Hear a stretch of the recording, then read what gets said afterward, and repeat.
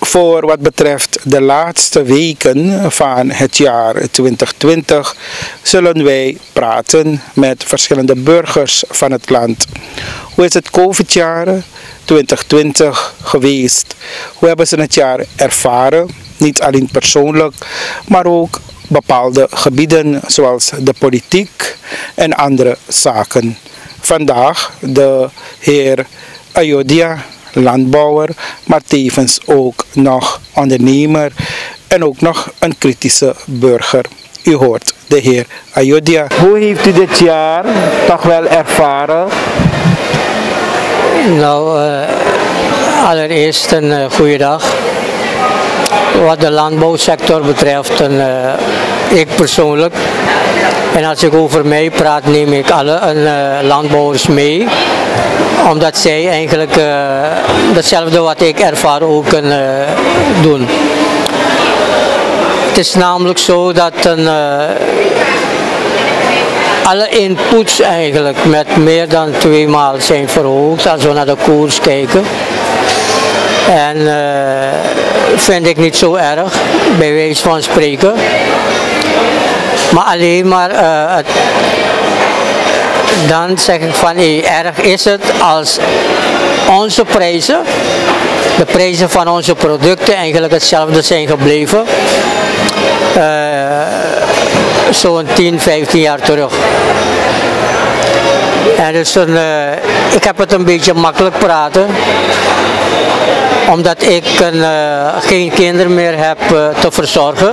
Het zijn allemaal groot zelfstandig. Maar ik kan me voorstellen wat landbouwers, een uh, jonge gezinnen met twee, drie kinderen, schoolgaande kinderen in huis hebben, hoe wat zij allemaal te, te voortduren zullen hebben. Voor mij is het al moeilijk als alleenstaande laat staan uh, gezinnen met vier, vijf personen. En uh, ik had wat deze regering betreft toch wel meer verwacht. Omdat zij de belofte die zij hadden gedaan, uh, zij, dat ze niet zijn nagekomen. Maar wat had u bijvoorbeeld verwacht? Kijk, ik had, ik had verwacht van dat een, uh, de president, wat rechtstreeks onder hem valt, is uh, het benoemen van ministers. Dat hij gelijk aan uh, die personen zou zeggen van kijk, als jullie het ambt van minister ambiëren, moeten jullie met eigen vervoer aan het werk gaan de privileges die zij hadden, normaal de ministers, die gaan ingekort worden. De salarissen die die zij kregen, die zouden ook uh, ingekort moeten worden. En zo, zo van allemaal van de parlementariërs ook, uh, dat hun privileges, hun inkomens ingekort zou moeten worden. Dus dat had ik allemaal verwacht. Ik zou eigenlijk niet gaan stemmen. Maar ik heb uh, naar anderen geluisterd en, en dan nog zo, zei ik tegen mezelf van oké, ik ga naar de stembus in de verwachting dat deze soort zaken zouden gebeuren. En ook dat de paarse vuren eigenlijk uh, uh, ingedampt moest worden. En dus dat waren de overwegingen eigenlijk dat ik toch naar de stembus ben geweest. Maar dus als ik nu de zaken zo zie gebeuren, dat daar heb ik er spijt van. Aan de ene kant en aan de andere kant zeg ik van oké, de paarse virus die heeft een, toch wel niet de gelegenheid gehad om meer toe te slaan en de teleurstelling van meneer Santoki, de huidige regering dan, Santoki Brunswijk. Meneer Brunswijk die heeft mij veel teleurgesteld. Was te verwachten, omdat hij eigenlijk alleen maar aan zichzelf heeft gedacht. In zijn hoofd is er nog steeds macht, geschiedenis maken wat hij zelf heeft gezegd. Eén dag uh, parlementsvoorzitter en dan VP. Dus een, uh, uh, als ik zo naar zijn een, handel en wandel kijk, heeft hij alleen maar geschiedenis willen maken en de mensen die op hun hebben gestemd, op zijn partij, heeft hij gewoon ook in de steek gelaten dat kwikgebruik, uh, die is nog niet in aanbanden gelegd. Het zijn eh, de mensen een, uh, in die gebieden, hun kinderen die nog steeds daaronder lijden. Dat kwikvervuiling, die mensen vergiftigen zich met de dag. En hij als de persoon die voor die mensen uh, zou moeten opkomen, er gebeurt niks. Dus een, uh, ik zeg van de doorsnee Surinamers, zowel in het binnenland, in, in de kustvlakte, de politiek heeft ons altijd uitgebuit. En daarom had ik al eerder gezegd, we hebben geen politieke organisaties, maar criminele organisaties. Wij moeten, zolang wij niet ons gaan opstellen als Surinamer, we zijn allemaal Surinamers, we moeten nu gaan om een volk te worden. En zolang wij niet bewust worden dat wij elkaar moet, tot elkaar moeten gaan groeien en ons gaan bundelen tot een volk, gaan we altijd uitge, uitgebuit worden. En uh, we gaan nooit uh, tot ontwikkeling komen. Dus een, uh, we waren per groep, etnische groep, worden we allemaal uitgebuit. Kijkt u wat een, uh, hoe heet die man weer, een uh, Coronto, Coronto toch? Die, die man van, uh, die zoon van meneer Sommohario. Bronto. Bronto heet hij. Ja, ik heb, concentreer me niet zoveel. Toen hij een, als minister werd beëdigd, de toespraak die hij hield, zei van dat wij als Javanen, wij, uh, wij moeten gaan bundelen, omdat de twee zetels die we binnen hebben gehaald, dat is niet op kracht van de Javaan zelf.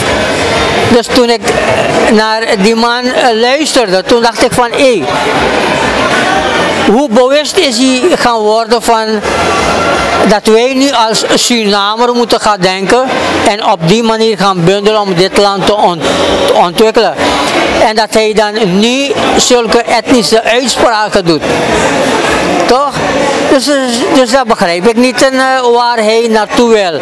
Wil hij in die etnische groep nog steeds uh, gaan werken om dit land te brengen? Op die manier waarop het nooit gaat lukken? Dus, dus soms begrijp ik deze mensen niet.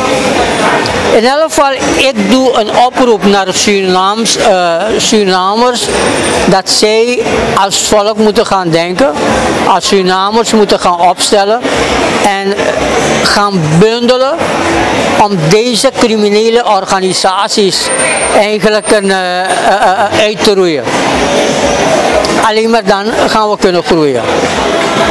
Kijk bijvoorbeeld een, een ander ding, die meneer Bouterse komt op de televisie en hij zegt uh, het is alleen maar met wapens dat men eigenlijk een, de NDP uh, klein gaat kunnen krijgen. Hij is, hij is, een, hij is een persoon die zijn hersens werken niet zo goed meer. Wat hij vergeet is dat je niet een, uh, uh, een, een, een heleboel personen of een organisatie moet hebben om iemand klein te krijgen. Weet u, laat me dit vandaag zeggen. In november 1980 had ik gepland om meneer Bouterse en zijn kornuiten dood te schieten.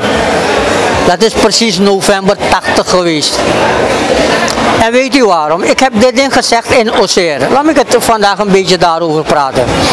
Oseer, als u naar binnen loopt, rechts de gang, links, laatste kamer was hun kamer. Ik ben daar binnen gestapt en gezegd dat ik dat zou doen. Meneer Abrahams en er waren nog twee personen daar in die kamer. Nadien heb ik de trap op, de derde kamer links, was de kamer van een, uh, die Kassaveman, uh, meneer Lakin. Ik heb in die kamer tegen hem ook gezegd, maak een afspraak met meneer Bouterse. Ik wil hem dit ding persoonlijk zeggen. Waarom zou ik dat doen? Omdat uh, ik was opgepakt en naar het kampement gebracht. En ik had die avond tegen die dienstdoende commandant gezegd van kijk, mijn vrouw is alleen thuis. En ik had mijn eerste kind, zes maanden oud baby. Of jullie haar dat boodschap kunnen brengen, voor haar kunnen brengen dat ik hier in het kamp ben opgebracht. En dat ze na de avondklok mee kan komen ophalen. En toen zei die commandant die avond tegen mij van, oh, die woorden ben ik nooit vergeten. Oh, die vrouw in Wandena Osono, Abunwago regeling. En dus uh, ze vroegen mij van waarom was je op straat. Toen zei ik, ik toen zei ik van kijk ik kom net uh, van West-Suriname omdat ik de West-Suriname alleen deed eigenlijk. Hè. En ik was helemaal een, uh, onder het boxiet. Toen dacht ik van laat ik een beetje gaan uitzweten. Dus van Quatta ben ik naar Waterkant, dus Gravenstraat door, Waterkant en terug. En toen hadden ze me opgepakt op de hoek van de Kernkampweg. En dus uh, toen zei je, oh je houdt van rennen. En dat was zo'n groep mensen. En ze lieten ons vanaf 11 uur moesten wij rennen.